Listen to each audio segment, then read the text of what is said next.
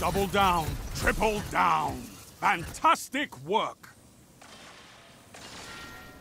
That's a power play.